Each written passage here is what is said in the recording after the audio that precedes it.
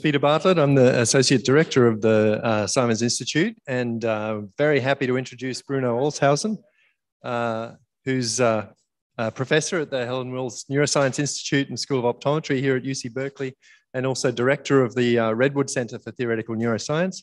Um, he's an expert in, in visual perception, computational neuroscience, and, and particularly computational vision.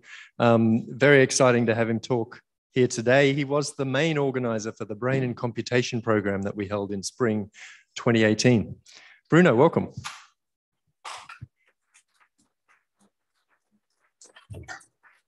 Thanks. Uh, well, first of all, uh, congratulations to Shafi and Peter, and also before you, uh, Dick and Alistair for reaching this uh, amazing milestone.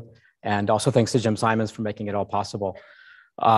So as Peter mentioned, uh, Christos, Christos and I had uh, the great fortune of uh, being able to organize a program on brain and computation in spring of 2018. And the goal of this program was to bring together uh, people from computer science and also from neuroscience to rekindle the connections between these two fields that were actually present at the very beginnings of both fields. And uh, this is just one of the smoking gun proofs of that. It may be sort of hard to, to reconcile this, that the, the, these two fields had a very common, common origin, computational neuroscience and computer science. And so this paper on the left, whoops, uh, this paper on the left uh, is uh, the, the 1943 paper by McCulloch and Pitts, which is for many of us in computational neuroscience, sort of the root node uh, of our field. Uh, it laid the foundations for many of the models in, in, that we use today in computational um, neuroscience. And uh, and but unbeknownst to many people, uh, this this this paper was actually also very inspirational to John von Neumann. Uh, so John von Neumann was was very much uh, in contact, in close contact with McCulloch and Pitts as they were devising these models. Uh, in, in, in, in, it was very influential on him, to him in designing the, the first computer. And so what's shown here on the left below is these diagrams from McCulloch and Pitts's paper uh, Walter Pitts was very enamored uh, about, uh, uh, very enamored of logic. Uh, he had read Russell and Whitehead's book, and so he was he was asking the question, well, how do how do we do logic? What's the neural underpinnings of this in our brain? And so he reasoned and hypothesized there must be neural circuits that compute logical functions in our brain. And this is his, his basically hypothesized, some of his hypothesized circuits and it's hard for us to believe when, when we look at this today, but the, the, these drawings here in his paper were really the first drawings of logic gates. And if you go and read uh, John von Neumann's repeat, uh, report here on the EDVAC computer, um, then uh, you see that there's basically two, uh, two citations in his report, both are McCulloch and Pitts. And so these, these logic diagrams that you see in his paper, um, this is where he's saying it right here, uh, were basically follow McCulloch and Pitts um, in, in, in, in this design strategy of how to sort of how to sort of conceptualize these, these logic gates. So it's curious that these two fields uh, were, you know, they, they began with, uh, very much uh, very much connected, but they sort of, uh, at least most of most of our lifetimes, uh, have grown more disparate over time. Uh, but but very recently, there's been a rejuvenation of this connection and, and these connections are growing very rapidly. And so I'd like to share with you some of these, some of these exciting developments today. Uh, and so, so many of these revolve around um, this idea of neuromorphic computing. Uh, neuromorphic computing was uh, initially, the term was uh, initially coined, and, and, this, this area basically was invented by Carver Mead uh, in the late 1980s and early 1990s. And uh, so Mead is recognized by many people as one of the pioneers of Silicon Valley. He pioneered the process for, for designing uh, very large scale integrated circuits, the VLSI process that, that people used in designing computer chips. And uh, in, in, the 1980s, he worked together with Max Delbruck, a biophysicist, to try to understand the biophysical properties by which uh, neurons signal. And what occurred to him is that the, the, the, uh, that the, a lot of the, the, the, physics of transistors, which they use in MOSFET transistors, which gave rise to these exponential current voltage relationships, um, were also at play in, in, in the brain, in, in, in cells. And basically, there's the exact same physical laws that governed these exponential relationships in, in nerve membranes. And this, would get, this is what gives rise to the Nernst potential, which relates the, uh, the uh, gradient and ion concentrations to the membrane voltage. And many of these and, and these other uh, exponential current, relationship, current voltage relationships you see in neurons, and that's being shown in here on the left. And so this inspired him to say, well, look, if we can see these parallels, then basically maybe we can build systems, we can build physical systems based around the organizing principles of biology. Okay, so we can try to capture and hypothesize what these organizing principles are and build systems that, that, that capture those principles. And this is a way of testing our understanding, right? And we'll learn by building things and we'll learn things about neuroscience and we'll also have this sort of way of innovating and creating new kinds of circuits that can compute in new ways. So that was the idea and uh, the original inspiration of, of neuromorphic computing. And I think there's, uh, um, you know, some parallels to this. And I think maybe what I think I want to sort of distinguish uh, between is, you know, this idea of capturing the principles versus biological mimicry, just sort of mimicking what biology does versus trying to understand the underlying principles. And so there's an analogy here to, to, to flight. Um, so around the turn of the century, uh, people, um, people understood the principles of um, lift and how to design a wing and, and how that was you know, captured in birds. Otto Lilienthal was one of the people who was really avidly studying that, the aerodynamic properties of birds and trying to build systems that captured that, that property. He built a glider. So lots of people had built gliders. They could glide you know, for some distance and was successful at that. Uh, but the problem that people faced in 1900 then was not only how to glide, how to get something in the air, but how to keep it in the air and how to keep it stable during a turn. So what they, the problem they had is that every time they tried to turn, the plane would simply just fall out of the sky. They couldn't keep it stable. Uh, and so the Wright brothers were uh, not only inspired by biology, but they adopted the principles by which biology was working. One thing they noticed is that when birds turn, they twist their wings. And this turned out to be a very important innovation when it, when enabled them to solve the problem of how to keep an airplane in the air and how to turn it stably as they attached some cables to the wings of their airplane so they could twist and warp the wings so that when they turned, uh, that it wouldn't simply fall out of the sky. And basically the ailerons on a, on a modern airplane are what um, serve that function today, okay? So the idea is that by confronting the same problems that biology and evolution had to solve, they were basically able to learn something, test their understanding, and build something new, which they weren't able to do before. Okay, so this is really, I think, the approach we want to try to adopt in, um, in both neuroscience and computing, right, today. It's really a joint and joint endeavor. It's a way of understanding the brain, the things that are uh, mechanisms in the brain, and it's a way of inventing new kinds of computing machinery. So what are these problems? How do we, how do we sort of go beyond just biological mimic, mimicry and try to understand the actual principles at work and you know what, what are the problems that biology is actually trying to solve? And so here for this, I'll, turn here to one of the sages of uh, psychology, uh, perceptual psychology, Ken Nakayama. So interestingly, the answer to this question will not come from neuroscience, okay? Uh, it's going to come from people studying behavior, animal behavior, and neuro, neuroethology.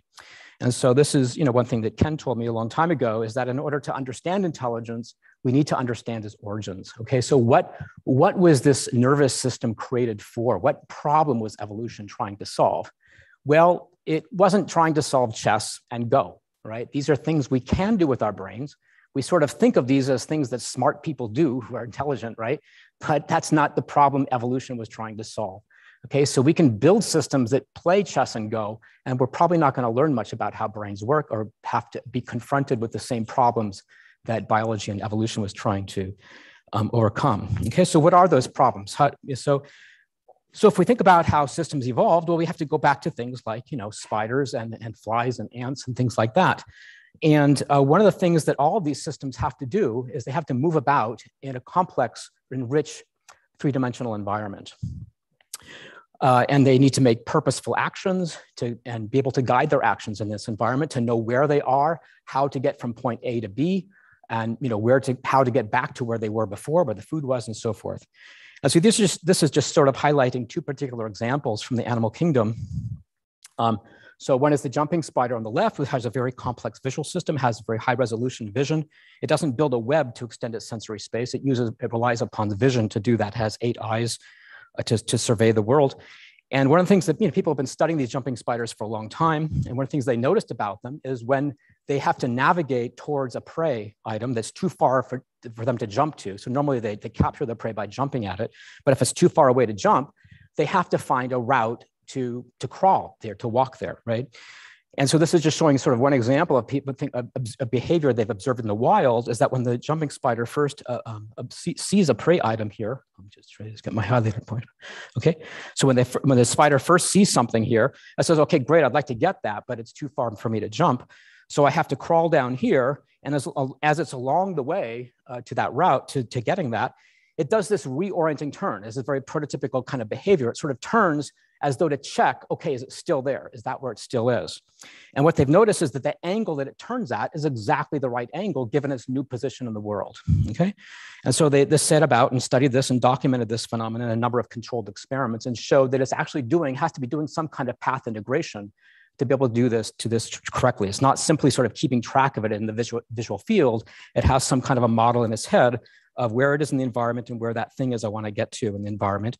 And also in other experiments, people show that it can, it can ascertain from vision the three-dimensional layout of an environment that helps it uh, sort of plan paths. And the other one example on the right is the desert ant, just showing this sort of amazing behavior they exhibit where, you know, the, the ant starts at the nest end in the lower right-hand corner, takes this kind of meandering path and eventually finds food in the upper left and once it finds the food, um, then it makes a beeline straight back to the nest. It doesn't just sort of meander around. It knows where it is, and this is the vector I need to go in to get back to the nest. Okay, so it's kind of astounding. And so both of these examples were, were you know, head scratchers for people in neuroethology for a long time. You know, you know, can it be that these animals are doing trigonometry or something in their head? I mean, how are they doing this? And, uh, and so, you know, recently, um, astoundingly, um, uh, modern uh, neuroscience has sort of given us the ability to look inside the brains of animals and see some of this machinery at work. And so this, this story began actually in, in rats, where in, with the discovery of head direction cells. And these are cells that that fire in a way that seems to indicate uh, the, the, the, current direction of heading. It's not, it's not with respect to some kind of magnetic orientation. It's just you, the, the, the, the animal lays down a reference frame and then sticks with that with this neural population. So each neuron fires according to a different direction that the animal is heading. So the model that people have developed for, the, for, for capturing this phenomenon is something called a continuous attractor neural network. It's very similar to the neural networks that these, these attractor uh, neural network models that were invented by Hopfield in the early 1980s. Except here, the idea is instead of storing a particular pattern, what this, what, this, what this population of neurons does is it maintains a bump of activity on the population of neurons. And that represents the heading of the animal. And then when other signals come in, for example, from the vestibular system or the motor system or any number of different modalities indicating that the animal is turned right, then what the system does, it has to shift that bump and, and hold it at a new location. So that the, in the models, these neurons are interconnected by a recurrent neural network, which maintains as a memory that bump of activity. That's the animal's internal representation of where it's headed in the world. Um, and then, and then when, these, when these external cues come in indicating that it's turning, that does a short-term modification in the synapses of this recurrent neural network to allow the bump to shift, and then it holds at its new location. And then it can shift back if other cues tell us turning back in the other direction. Okay, so these models have been out there for a long time. There's a lot of theory that's been developed about them. It's kind of a non-trivial theory that, you know, to get these, these networks to work, to make them stable. Uh, this very interesting set of models and sort of and almost a kind of, you know, uh, an, an experiment you can only wish for, uh, these, the, uh, these, these, these, these ring attractor neurons were discovered in the fly brain. Okay, so this is, a, this is a, a, a nucleus of neurons. It's called the central complex within the fly brain. And one particular nucleus, unbelievably, within that, um, within that structure is shaped like a donut. It's shaped like a torus.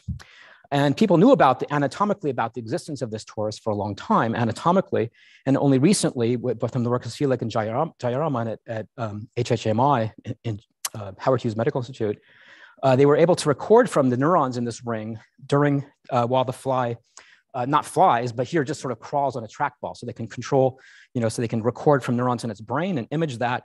And you know, again, this is just kind of jaw dropping. It's these are kind of experiments in technology that um, you know, people like myself, we could only dream of that we could do this kind of thing.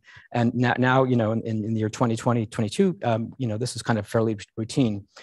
Uh, and so here it is, you know, these, this population of neurons in the fly brain, there's 42 neurons in this ring attractor neural network.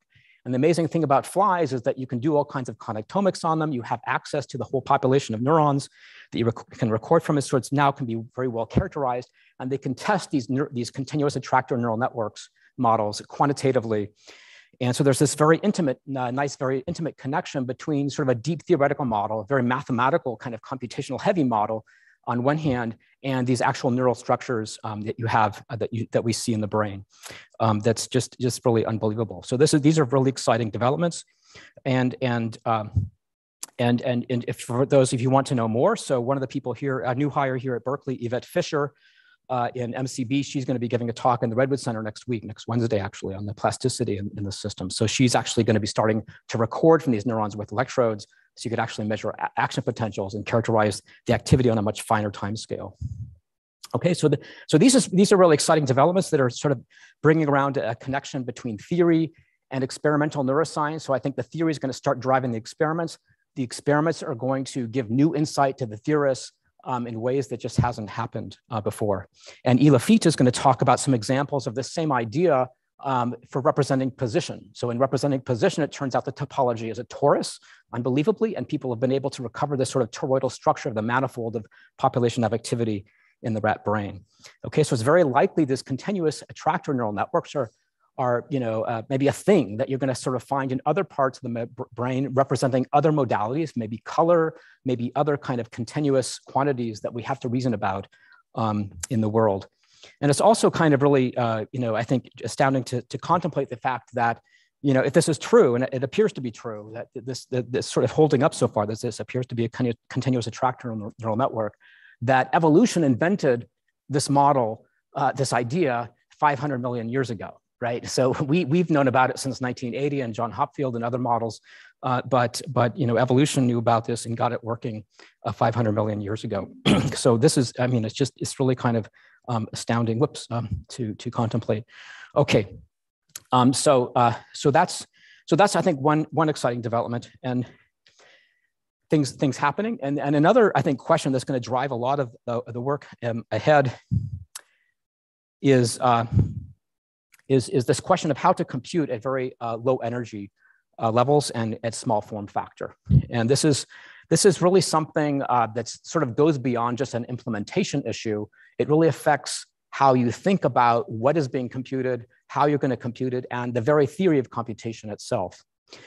And so, uh, some some really nice work along these lines that has come out. Uh, this is a this is a book uh, by by uh, Sterling and Laughlin that captures a lot of these principles that that brains use to compute at very small form factors with low, very low amounts of energy. I mean, how do you take something like an attractor neural network and put it inside the head of a fruit fly, right? That's like a speck, speck of dust, right? So, and keep that thing so it's stable and it operates robustly.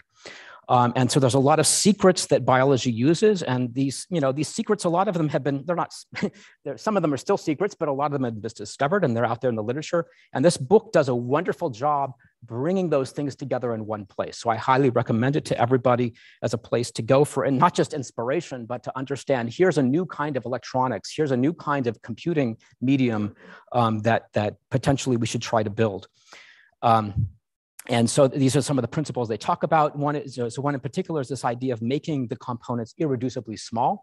That's so that we can sort of get signals to, to propagate around just locally. We don't have to send them large distances. It makes things faster and it requires less power if we can do that, if we can keep everything together in one space.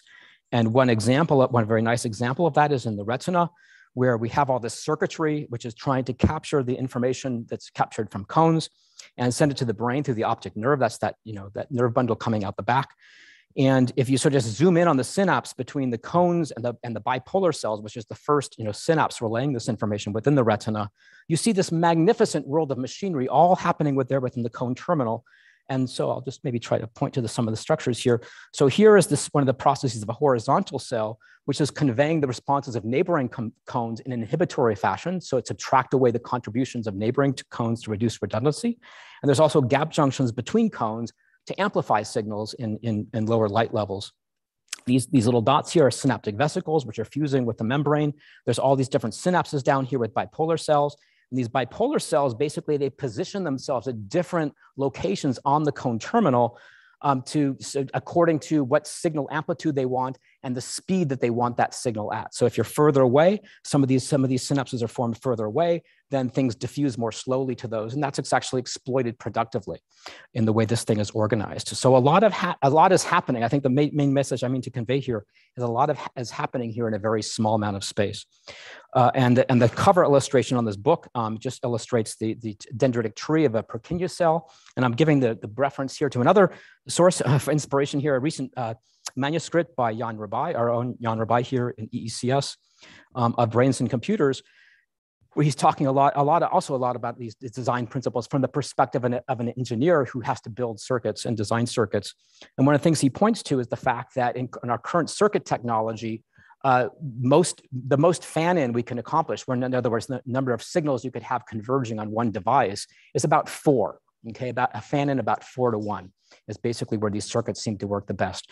Whereas the brain works on with fan-ins of in the thousands, and the and the Purkinje cell, what's imaged here on the cover, um, has a fan-in of 200,000. Okay, so how, how is that possible, right? That's an existence proof that it is possible to do this efficiently. Biology probably probably does it for a reason, and we need to understand understand why. Uh, okay, so then, uh, so, so, so at the same time, people in the, in the electrical engineering community have been trying to, uh, basically spurred by the end of Moore's law, trying to create new computing fabrics that can do these kinds of things, that can compute at lower, lower power and, and smaller scales. One of the, an example of these are so-called memristor crossbar arrays, and that's, that's being shown here. And, and these work on something, uh, a phase change memory principle, where basically at each of these junctions, you change the resistance uh, and that allows you to store a value. It can act as a synapse. It also does computation. So you can uh, apply a voltage over it and the amount of current there will be the product between, between the voltage and the, um, or the, or your, uh, yeah, yeah, so, so uh, uh, the multiplication of the current with the resistance. Uh, and so, but one of the things about designing the, the things this way at, this, at these very small scales and, and low power consumption is that they behave stochastically. Okay, so you can't, they, they, they no longer behave deterministically. They're, they're going to sort of make errors. Uh, and, so, and so you have to sort of think about, well, what kind of computing uh, paradigm, what kind of theory of computing could I have that could work under such conditions where I'm at very low power, very small scale. So things are still, I have some kind of systematic signaling going on, but it's just not perfect. Um, how can I still do uh, reliable computation in that, in that setting? And so, uh, so one very promising paradigm that's been developing um, here over the years is something uh, called HD computing. It's basically the idea of computing a computational system uh, or a system for computing with high dimensional vectors.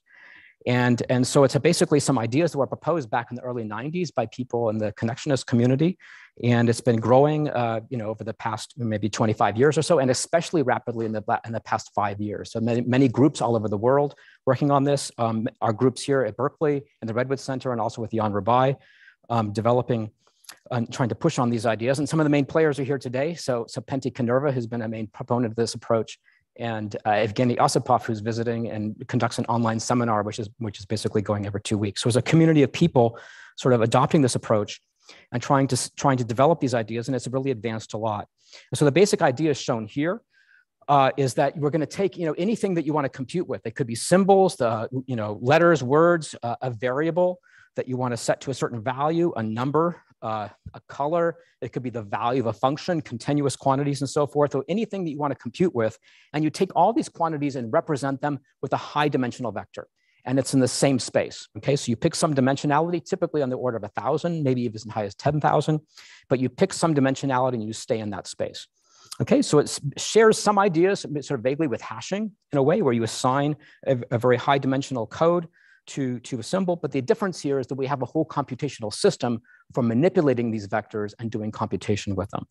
In some cases, such as binary, in other cases, uh, we use complex vectors um, shown on the right. That, that's more useful for representing continuous quantities. There's an algebra that operates over these vectors. And uh, so, for example, for representing sets, we superimpose the vectors. Uh, you can do key value binding by multiplying the vectors element-wise uh, and uh, uh, spatial relations and, and sequencing. So this algebra is a very rich algebra that allows us to, to, to manipulate information um, in this framework. And some of the papers are down here below. So I'll make my slides available. I'm gonna have to skip, skip to the end to make, uh, so, so as you can do factorization. Um, whoops, um, and uh, and and and other things which I'll have to sort of gloss over here. But I just want to sort of maybe end with one point here about computing with dynamics. This is another very interesting area that's been advanced. Um, is is basically taking these hard combinatorial optimization problems in computer science, like traveling salesman, the classic things and graph cut and so forth, and trying to solve those with so-called Ising machines. So it turns out you can you can map these problems onto an Ising model and the energy function is shown below. And this is the minimization you have to solve. And if you can minimize this energy function, then you can basically solve, you know, traveling salesman or, uh, you know, these other kinds of problems. And some other work here at Berkeley by, um, by, uh, by Tianshi Wang and Jaijeet Roychowdhury has shown how you can minimize these, these, these Ising models with uh, using coupled oscillator models. Okay, so basically instead of just representing uh, minus one and plus one, represent them with a complex phasor and allow the phase to spin around and the network in a, a sense very efficiently does a relaxation to, to find the ground state of this of this Hamiltonian, of this, I'm sorry, this energy function that can that can solve these Ising models. So this is another super um, exciting development. I just wanted to point you to uh, things happening. I think uh, uh, along you know so in the, in the neuromorphic realm of you know showing new new ways that we can compute and solve these combinatorically hard uh, problems that the brain is probably having to solve. At the same time, as we, as we see these uh, examples of how to compute with coupled oscillators, uh, then we sort of look at the brain now with, with, with a new lens. It's sort of very much like the Wright brothers. You know, it's like if you sort of figured out how to do this twisting idea uh, with the wings, then you look at the birds and you say, oh, that's, that's why they're twisting their wings, right? And so one things we've known about the brains for a long time is that they oscillate. Uh, well, maybe this is why they oscillate, right? And so, so I think this is sort of gives us a new way to look back at what these oscillations in the brain, may, perhaps in a new way, and try to understand what computations. This has long been a mystery. What, what how do they contribute to oscillation? How do they contribute to, to computation? Okay, so so basically, I think the the, the the the bottom line of what I want to try to convey here is that um, these connections between uh, computer science and neuroscience they're growing, uh, especially rich, I think, in this area of neuromorphic systems. That we're going to learn about brains by trying to build these same ideas as a way of testing our understanding, uh, trying to extract these principles from biology. And I think in terms of theory of computing, one thing we really, we, we really need is a theory that can encompass uh, not just complexity, but also time and energy. And, uh, and so maybe, uh, maybe this will be the topic of hopefully uh, maybe another uh, program over the next 10 years uh, sometime. So look for, we may be submitting a proposal soon on that. So um, anyways, thanks very much and happy, happy to take questions at this time.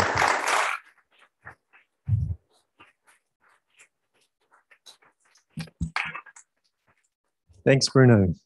Questions?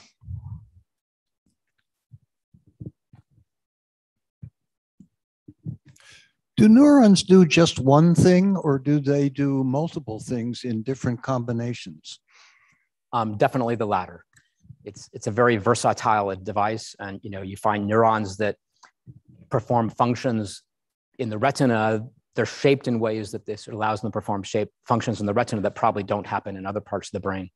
Um, so it's a kind of a, a flexible, flexible uh, building block. Great. One more question. Yeah, uh, thanks a lot for the awesome talk. So, like some of these ideas, you have some thoughts that how ideas can help this machine learning and artificial intelligence work that is going on that we learn from the brain? Yeah, yeah. It's, I, so I guess uh, you know I, am sort of a, maybe pushing a different message here than the standard deep learning uh, uh, analogy. There is a lot of uh, parallels there as well, um, certainly.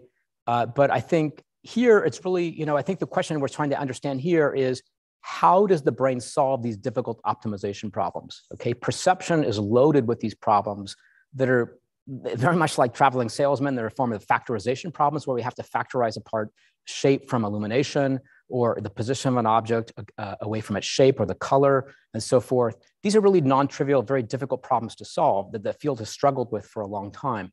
And so I guess the, the hope that I see, what I'm very excited about, um, is that this progress, you know, that's being made with neuromorphic systems, uh, you know, sort of using dynamical systems as a way to solve these problems, using high dimensional vectors, taking things and representing them in a high dimensional space, that allows you to do the things that maybe you weren't able to do before, that, that seemed that seemed intractable, and it now gives us sort of a guiding light that that makes them uh, seem more doable, approachable. Yeah.